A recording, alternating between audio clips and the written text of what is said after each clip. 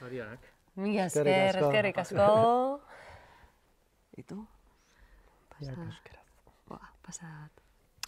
Ba, eskerrik asko, eh, olango sariek eh, inderra moten dozkue aurreantza eh, gure aldarrikapenagaz egitako. Eskerrik asko. Eskerrik asko, eskerrik asko gure ekimen ezberdinak babestu dituzten hogeita mar mila baino gehiago herritarrei.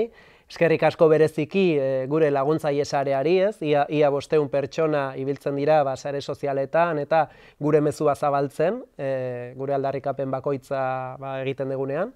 Eta eskerrak bereziki ba, bide lagun izan ditugun elkarte eta eragile guztiei eta gure manifestua babestu duten eh, euskalgintza, ikusentzunezko eta hezkuntza munduko e, hogeita mazazpi eragileei.